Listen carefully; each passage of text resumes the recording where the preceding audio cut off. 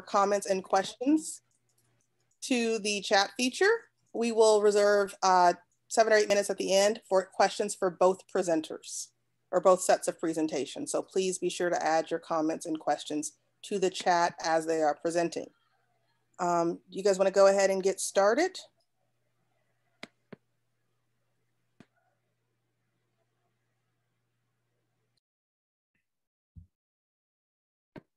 I don't know who's speaking first. well, Ty, well, uh, originally we were going to play something as people are getting in, but people are conversing. So wanted people to be able to build. So we're just kind of adjusting slightly. Ty, do you want me to still cue that up or have, and then you can just tell me when to fade out? Is that, okay. yeah? Yeah, And we could just do a couple seconds, 30 okay. seconds. All right, cool. All right, just a second.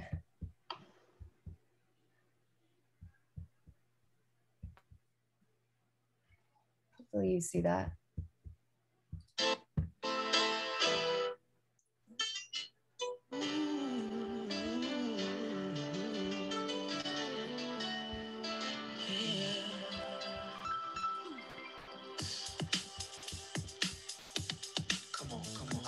changes. Wake up in the morning and I ask myself, it's like worth living, should I blast myself? I'm tired of being and even worse, I'm black. My stomach hurts, so I'm looking for a snatch. Give a damn about a need, bro. Pull a trigger, killing, he's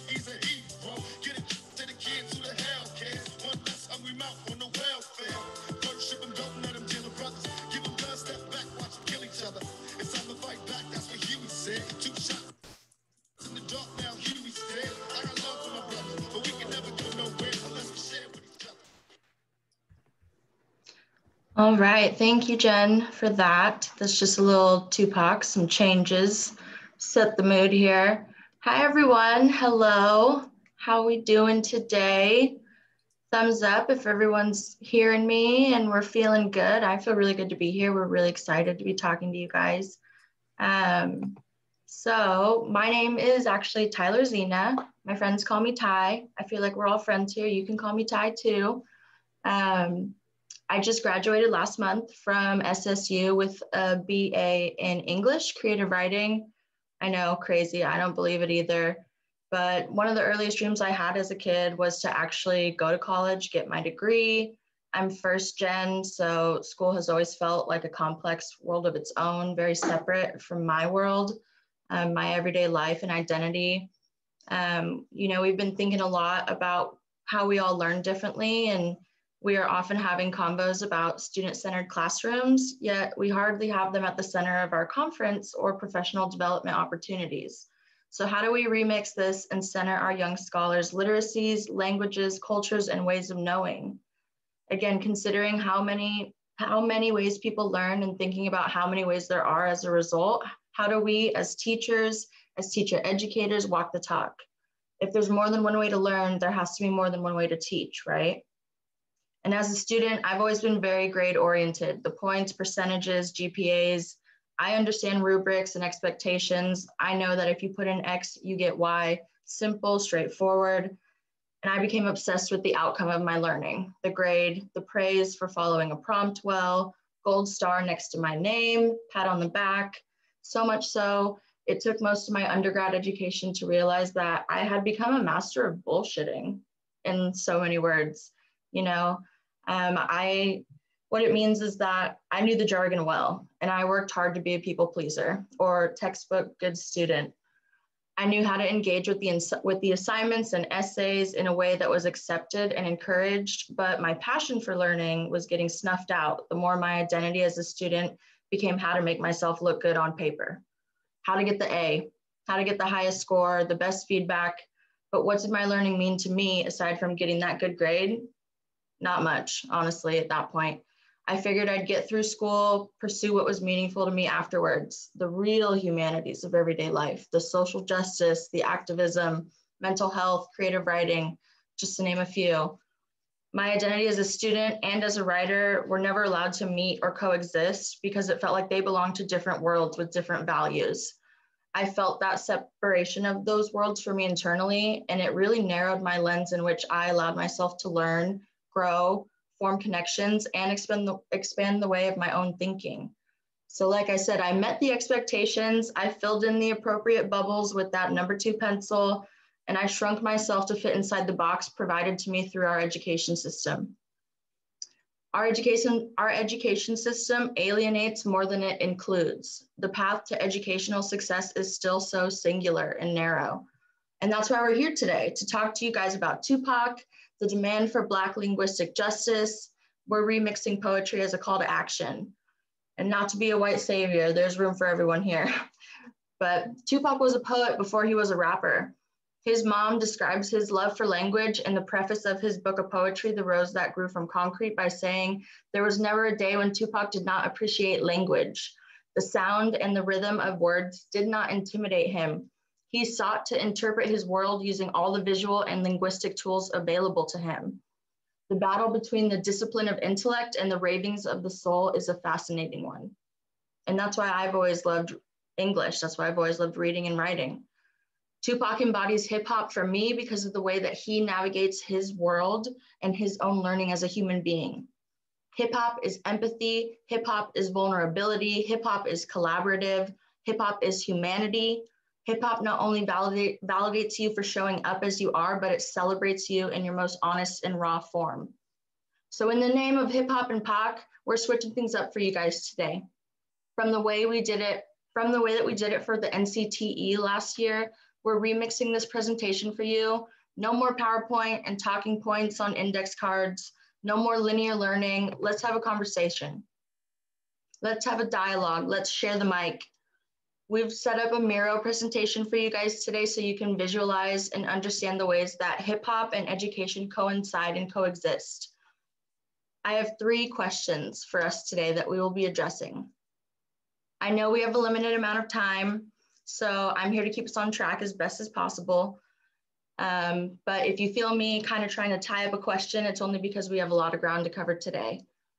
I have three professors and revolutionaries on the mic with me entering the cipher today. We got Dani, who has been a secondary teacher holding it down in Clark County, now is a doctoral candidate.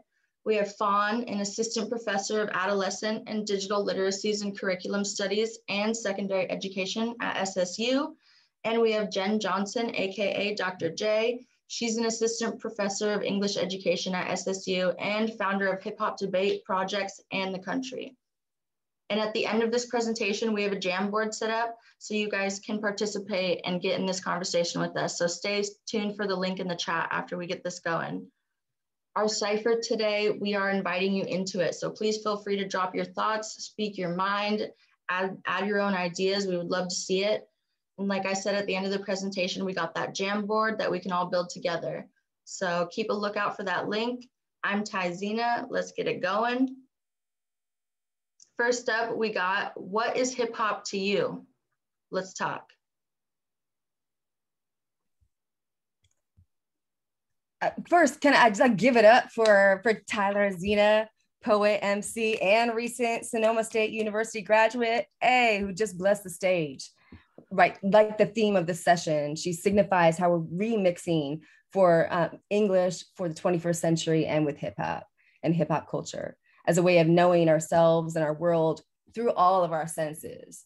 So I mean, I just want to jump in because when I think about hip hop, I think about youth culture that has been transformed into a global one and a culture that was created in the 1970s by black and brown youth who that had for all intents and purposes been written off by those elected to represent their interests because it emerged out of against the backdrop of deindustrialization, factories closing, a national recession, COINTELPRO, and out of the little ashes of the South Bronx when it was the poorest district in the entire country.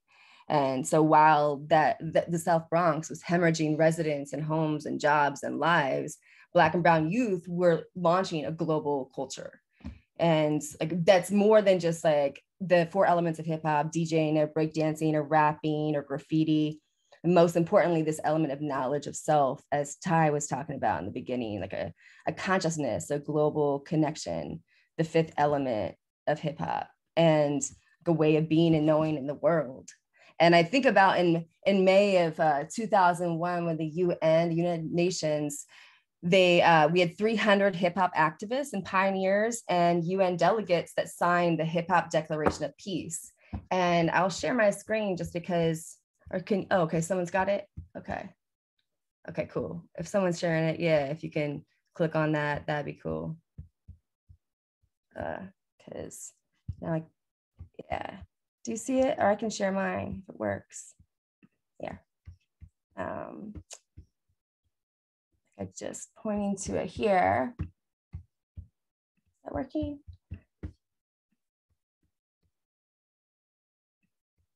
Yeah, right there. Fist joint. We're not seeing that. We're only seeing your desktop screen. Oh, fun. You get to see everything that's wonderful there. How many screenshots I have. Holla. okay. It's it's interesting to do this. Now are you seeing it or no? This yes. is it. Okay, cool. So I'm thinking about that declaration, hip hop declaration of peace, and uh, and how important that is too. That it's signaling to the world that hip hop is this international culture of peace and prosperity that's representing an independent collective consciousness. And and so you have all around the the world, you have so many different projects that are emerging with young people learning English or people taking over bus stations to uh, create community centers. And it's something that's so powerful. And and i oftentimes think that that hip hop is conflated the, the the culture is conflated with the industry. And then if we think about the culture and what this means in the history and what it's transformed to be now is something that's really important. I agree jen. Thank you. I appreciate that fawn and dani i don't know if you guys have it is why um what is it? I'm not sure what this is this computer is doing. Um, it, it, and it allows them to actually come in and speak their own truths. Um, and it makes a place where um, coding or code switching doesn't have to be, um, which was the biggest reason I created this unit when I actually uh, gave another colleague the, the novel um, Dear Martin, and he goes, well, that doesn't make sense. He would, he went, he would code switch if he was going into that private school. And I was like so insulted by the term that it wasn't written correctly because he didn't code switch. And I felt right then and there I needed to change. Um, and I was like, well, what language are my students grappling with every single day? Um, so this unit wasn't just built by me, um, it was entirely built by the students. Um, and as as a tool, because I don't believe we should hoard curriculum, um, we need to share it. So if you actually go right here to poetry and social justice, this is the actual unit that's built with um, my students. So it is a guide. Everything that's on there is their input. Um, however, I do encourage you, if you do use it, please um, mess with it, make it your own, make your students um, the center of it. Um, and then um, oftentimes Five I don't minutes. know. And Fawn, I'll let you take over. Okay, um, so I'll be really quick um, since we have our um, five minutes.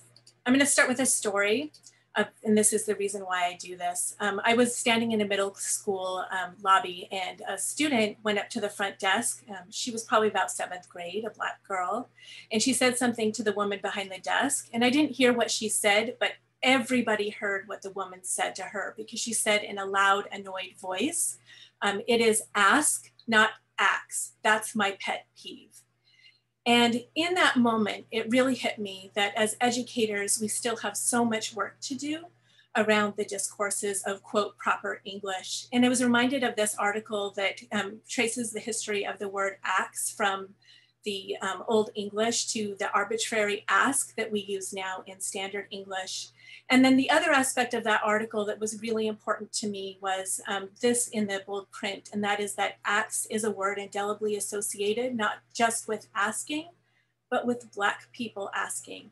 And so when I think about that girl up at that front desk, um, I'm really grateful for scholars like Baker Bell, who gave us the language around linguistic justice and how to talk about um, cultural fluency and culturally sustaining pedagogy that cultivates the genius in all of our students.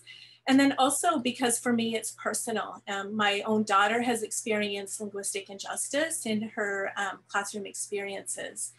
And so when we've been discussing hip hop is young adult, um, I think about the available resources that we use with our students to make meaning in order to, you know, walk the talk and go beyond just, um, you know, forcing people into um, adjusting to the world and um, give them ways to use their creative power. And so in my methods courses, we do this by decentering white mainstream English and focusing on translanguaging.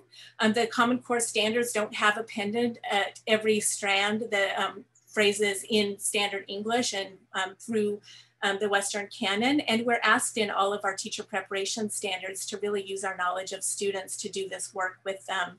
And it's important because we want them to leave with um, a multilingual and multicultural understanding of the world and a heightened awareness about injustice so that they can question everything with purpose and advocate for themselves and their community. That's why I do it. Thank you, Dani and Fawn, for so many great resources and for just speaking your truth. You guys are definitely walking the talk there by recentering your curriculum and your classrooms to be more student oriented. And you guys are the definition of what it looks like to pass the mic. And we pass it back, you know, it goes both ways. That being said, just to just to move on real quick, last little question here. So what limiting situations do you guys feel might stop you from passing the mic? Jen, maybe you can speak on this real quick.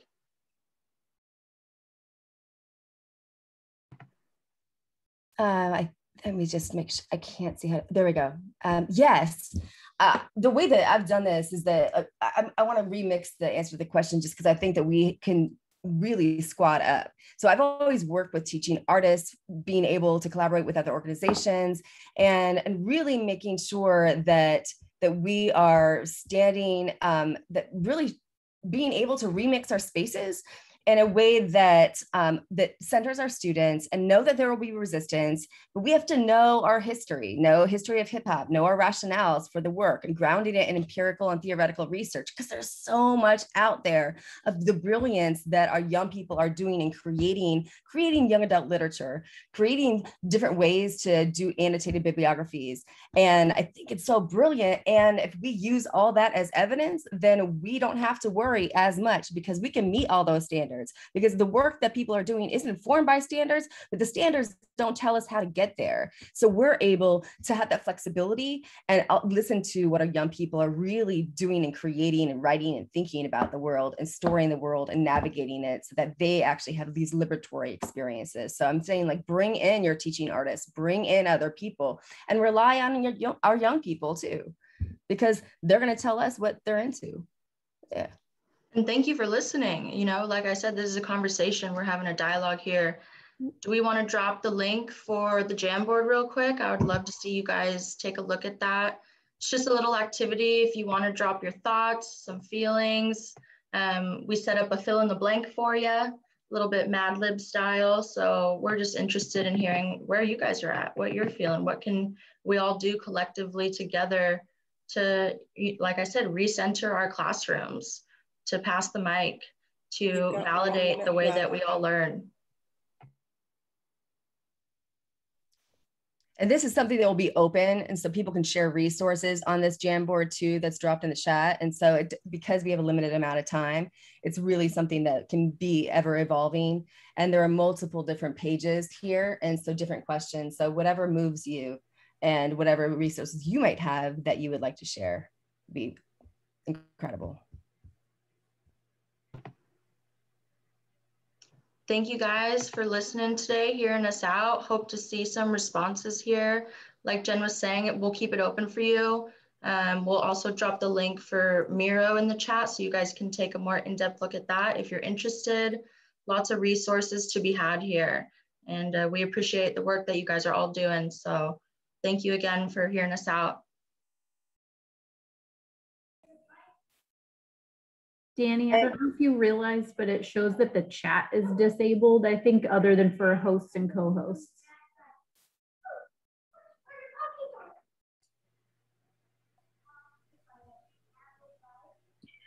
I was going to say the same thing, so I'm glad someone else noticed it. It shouldn't be. that's really weird. I had assumed you did it for your presentation, so I was going to wait till you guys were done.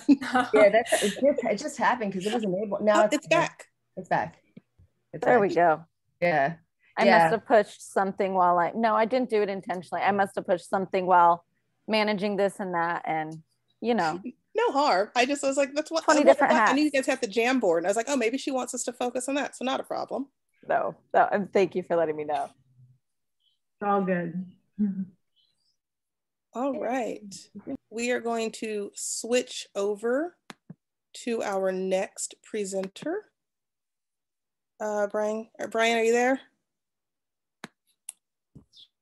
Uh, I am, and hopefully I can get this to work right. Sometimes uh, the video doesn't work right. Sometimes it does. Um, it's an older computer. All right, there we go. I apologize. I have to be in the yard. Um, I have plumbers in the house actually doing some work, which is why I have to wear the mask as well. Um, and my dogs are like going nuts, so I apologize if they're barking a little too much. Um, that was a wonderful presentation. Absolutely wonderful. Um, I teach in a very urban community college in New York City. Um, and we have a lot of issues with professors not understanding uh, linguistic diversity. And one of the courses that I teach is in Lin Lin 100. It's on language, gender, and culture, uh, language and culture. Um, and it's so important that faculty really understand and respect linguistic diversity. So I think what you're doing is just really incredible. And um, I really appreciate that conversation. Uh, so my presentation is um, a little bit more of an older, old-fashioned PowerPoint kind of a thing. And so I'll send you guys the um, tiny URL through chat, but um, I'm trying to figure out, uh, do I have the capacity to share the screen or no? I, I don't know Yes, if I do do. or not. Yes, you do. I made you a co-host. Okay, so I'm trying to figure out how to do that because I, the computer's a little wonky. Um, let's see. Ah, there we go. So uh, let's see. So the topic of my presentation today is on um, something that's been a passion of mine for since I would say about 2010, um, when I got really interested in the affective turn uh, in literature and in the humanities. Um, I find it to be very important uh, coming as from my own background as a student in high school, elementary school, middle school. I was a very apathetic student in terms of English class. Like I would read in the library um, and I read extensively. The librarian was wonderful. You know, kudos to librarians everywhere. But I couldn't get engaged in course reading. Um, it was always, you know, do traditional analyses. It was always multiple choice tests. It was a lot of really basic stuff that just wouldn't wasn't catching my interest. And you had these really powerful texts and the way that they were being taught. It just never connected with me as a student. And so when I was reading up on the affective turn in the humanities, it really caught my interest. And so I began to look at empirical research on affect and literary reading as the basis of my dissertation. So that's where I'm kind of grounding my work today, uh, my presentation today. So um, let me just jump into that a little bit.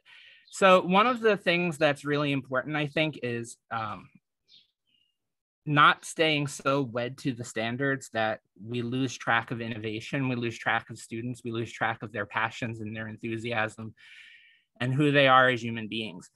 Um, so now, currently, I teach at Borough Manhattan Community College. I teach um, mainly um, academic and development, developmental reading. Um, it's for students who come to the college and they are not prepared for college level reading. And one of the things that I consistently find with students is that nobody has really ever engaged them meaningfully in the task of reading when they were um, in the high school, in the middle school, or in the elementary school. So um, this is one thing that I, I do is I try to make these kinds of connections with students, these affective connections. How are they emotionally responding to texts? Um, and it's not only literary texts, like we use nonfiction texts, we use expository text, we're studying social phenomena in these courses. And I want them to wrestle with what are their emotional connections, what's happening to them internally as they're going through this process, because I find that that makes a deeper, more meaningful connection to what they're learning. Um, I've also included affective inquiry recently um, in the shift online with COVID. Uh, in my queer theory course, my gender and women's studies course, uh, my linguistics courses, et cetera. And I found that really it, it has changed what we do in the classroom. It has changed who my students are and how they see themselves. It has changed how I see them.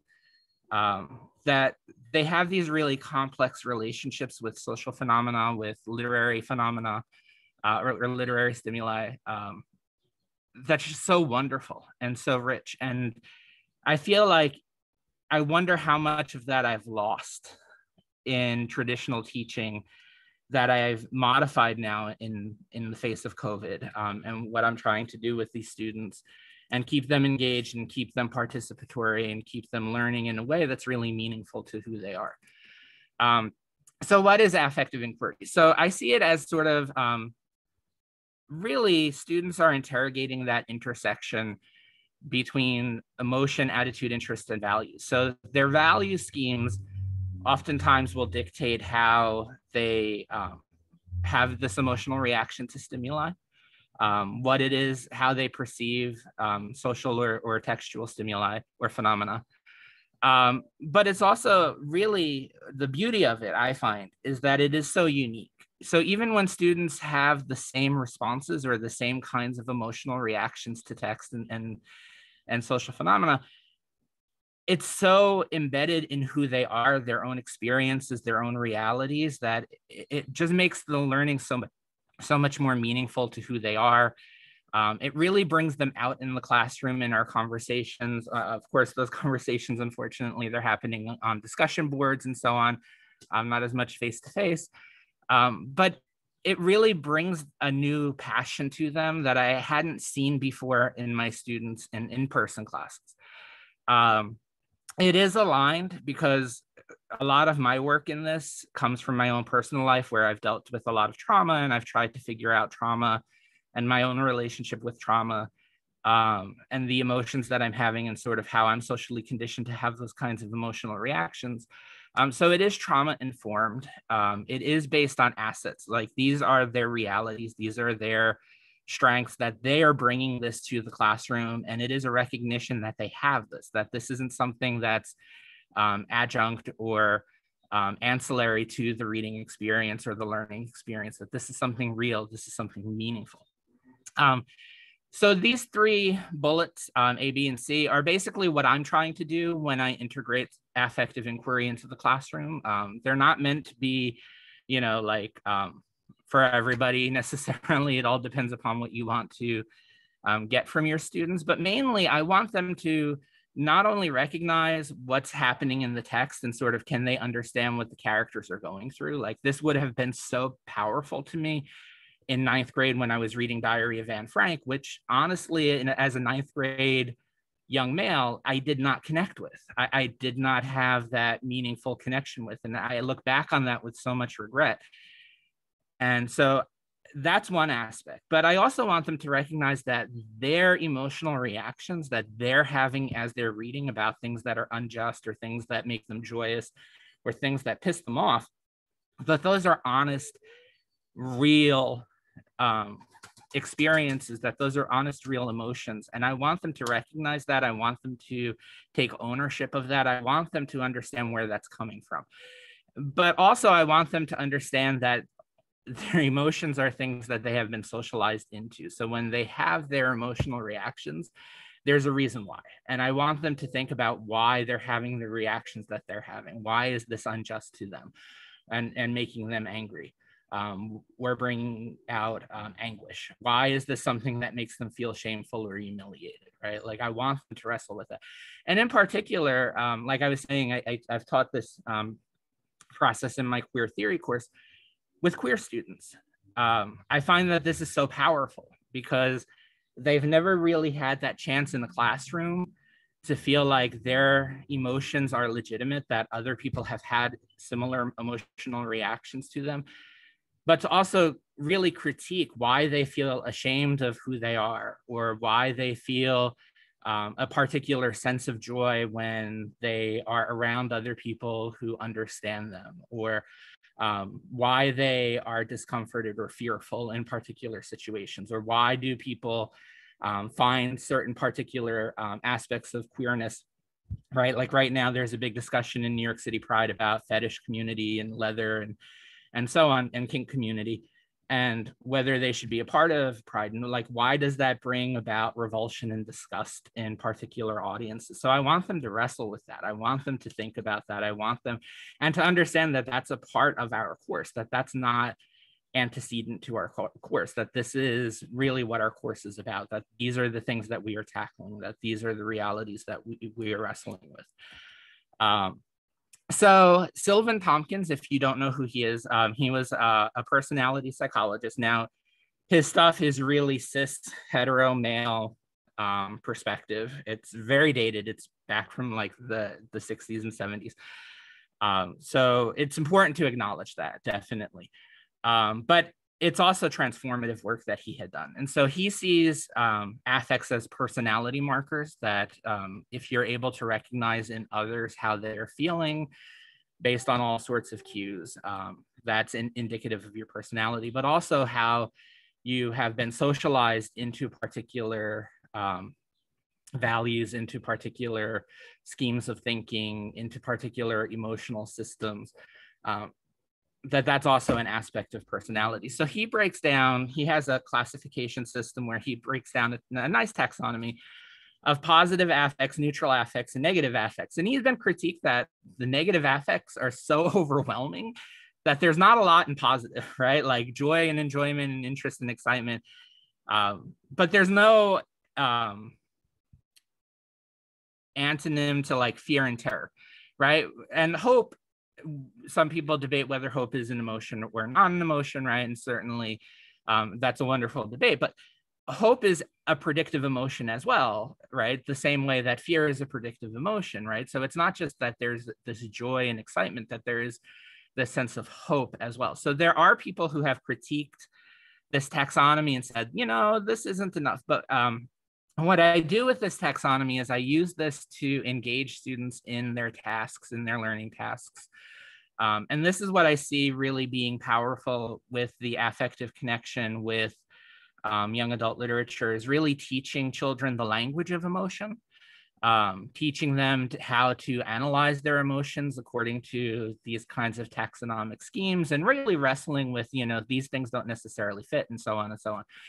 Um, and the reason why the inside out picture is there is that it's just a very crude representation of kind of what um, Tomkins is doing. But I think it's also like a powerful um, example to us when it gets to that end of the movie that there aren't times where you can say, you know, I'm only angered or only fearful that right there are these times where these kind these emotions sort of mer- merge together and that they are hard to parse out and i want students to wrestle with that i don't want them to say you know, oh, you know, this brings about joy, but I want them to also wrestle out like these are really complex emotions. I don't know what to make of them. I don't know why I'm feeling torn in these two different directions, right? I, I want them to wrestle with that. Um, and so I see that as a really powerful um, aspect of literature. Now, um, five minutes. This has been Oh, thank you. Um, so we've known about this for a very long time. We've known from all the way back with Holland's, uh, I mean, Richard's research back in the 1920s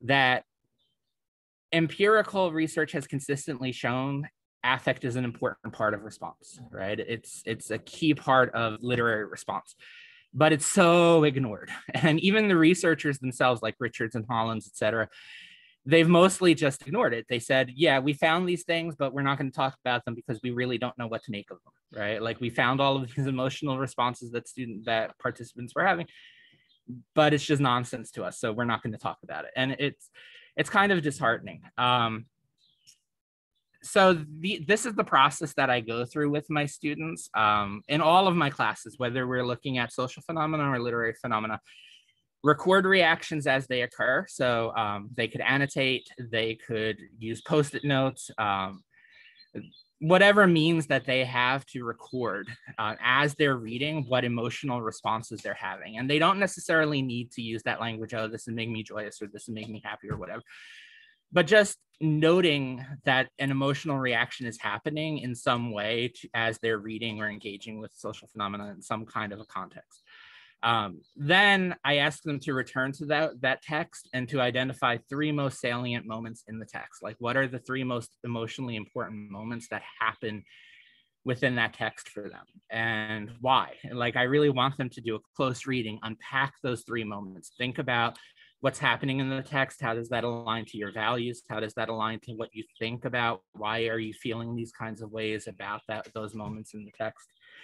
Um, and then reflect reflect on literary reading as experience as part of being a human being. Like literary reading is empowering you as a human being. It's changing who you are. It's shaping who you are. So reflect on that. Like think about like what's happening to you as you're engaged in this this um this reading this in, in um, informed um, practice. So these are just examples of schemes of analysis that i use with students. Um, but again they're just examples. So I ask students like, are you reading with the protagonist? So um, the best example that I can give is in media, like when you're watching something like Sopranos and you have these um, anti-heroes that you're rooting for and you're hoping that they're going to win in some way or they're going to triumph in some way, right? Your emotional responses are in line with maybe what they're feeling, maybe you know they're encountering something awful like are you reading along with that protagonist? Are you experiencing text along with what's happening to the protagonist?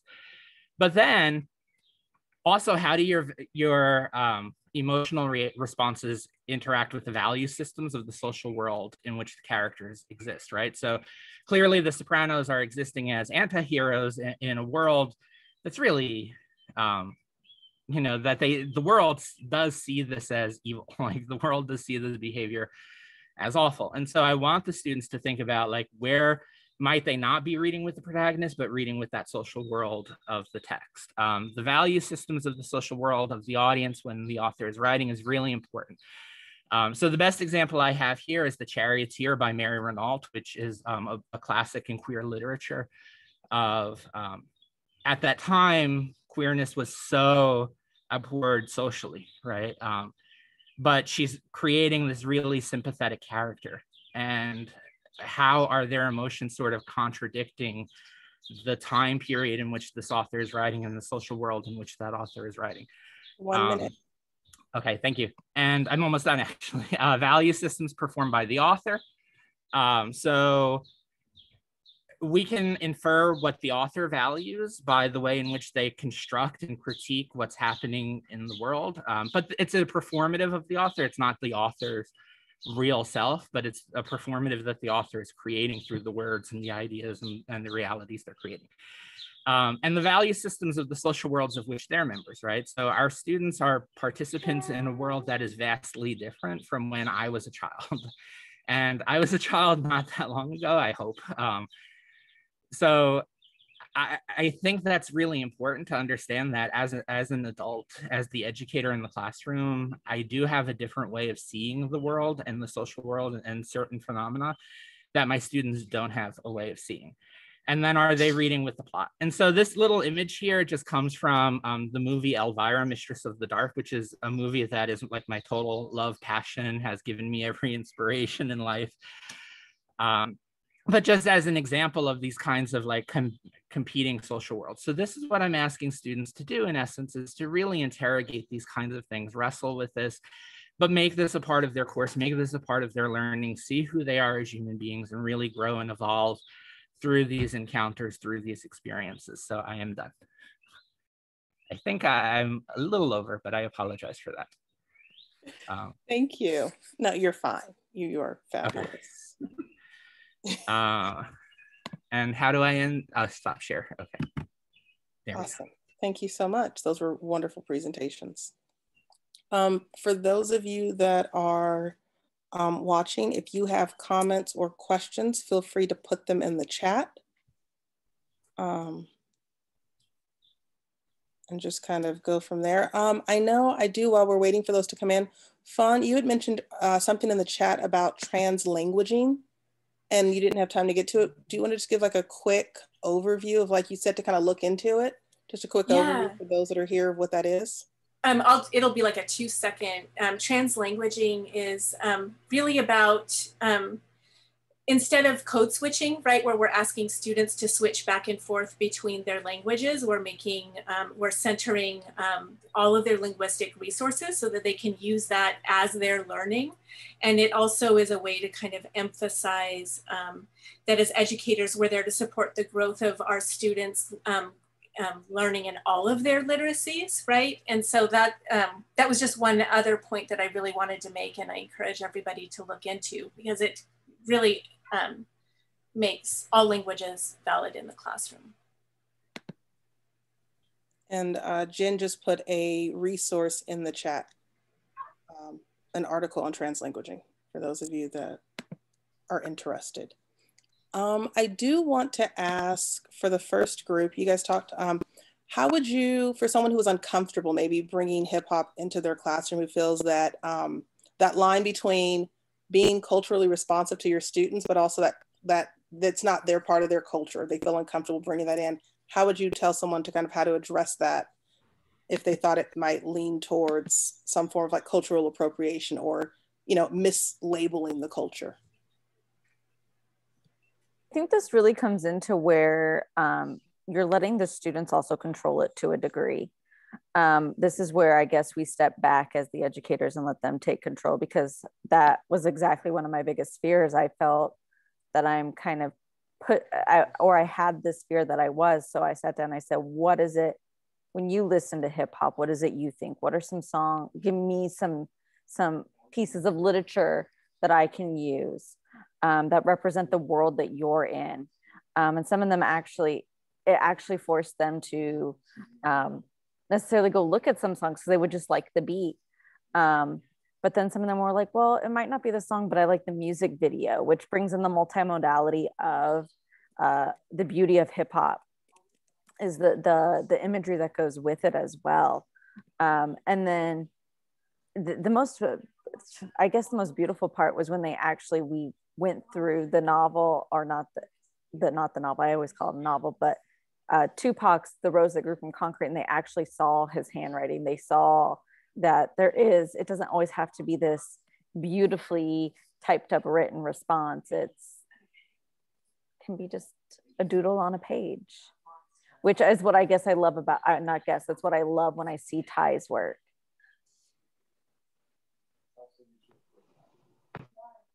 Thank you so much. Sorry, my screen's doing something weird. it's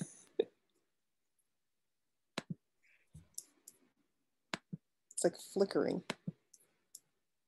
There's also, if you look at that Miro, um, I also write a rationale for whatever I do. Um, I know Fawn does it too. It's actually who I learned to do it from when I was in our methods class. Um, is explain why you do it. So it kind of takes that like oh my goodness, like we're doing something complete. No, we're here's the reason why we're doing it.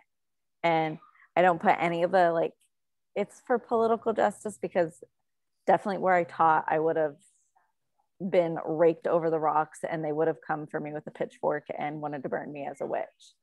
Um, so there's that rationale. It's like, well, it's all inclusive. It makes everybody. And I go, your child listens to hip hop. If we actually li- take a moment and put in every single student's phone um, earphone they're all listening to similar streams of music. Um, so there there was that um, i guess that form of knowledge i had on my side that um, gave me that ammo to sh- shoot or shut parents down that were gonna be like no it's yes yes it is. Thank you. Um, brian we have a question for you in terms of how are you able to use any lit with your college age students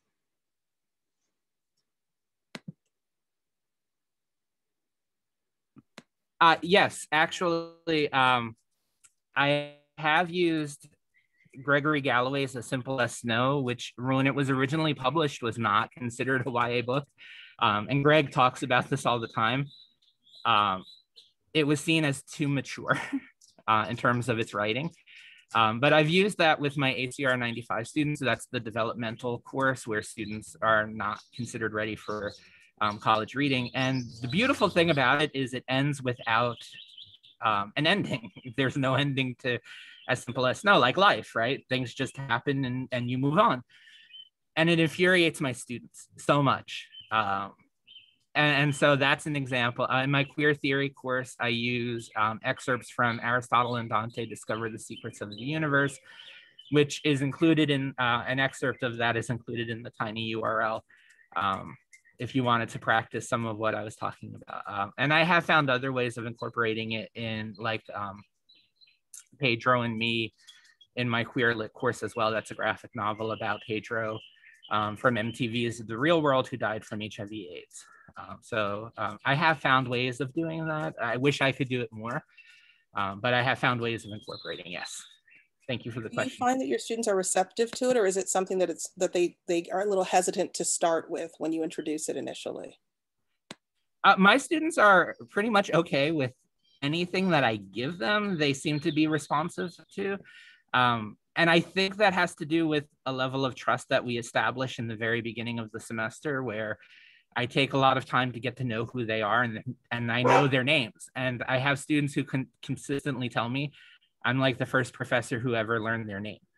Um, so I think that there's that level of trust that as long as they feel like they know who I am, they'll go along with whatever I give them, um, and they'll wrestle with it. They'll they'll work with it in a meaningful way.